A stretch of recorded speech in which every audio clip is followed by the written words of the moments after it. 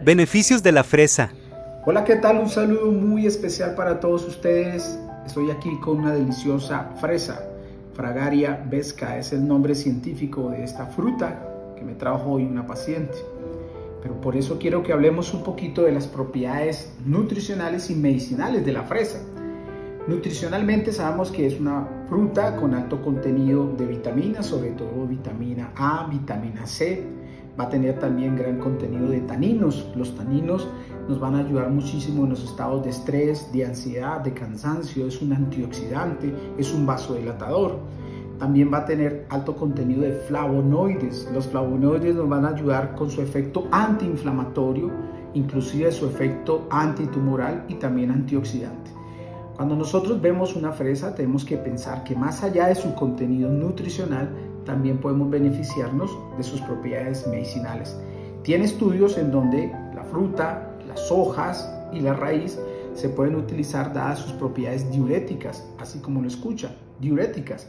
Tiene propiedades antiinflamatorias y antimicrobianas. Por eso en esas infecciones de la piel, cuando tenemos aftas en la boca, podemos utilizarlo, ya sea en un cataplasma, en una infusión o un extracto de esta fruta.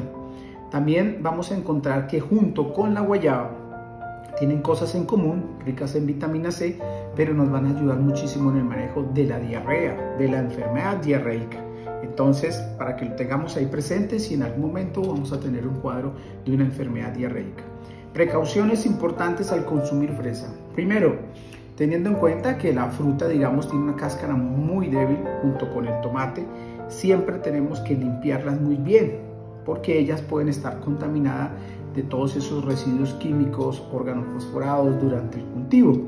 Secreto o tips importante, las dejamos un litro de agua con una copita de vinagre, reposar unas 2-3 horas y así vamos a poder limpiar la fruta de los restos de esos eh, químicos eh, del cultivo. La otra cosa importante, si usted es una persona totalmente alérgica, que sufre de dermatitis alérgica, eh, algún cuadro de reacción alérgica que haya hecho severo, es importante evitar el consumo de esta fruta porque muchas personas son hipersensibles a la fresa.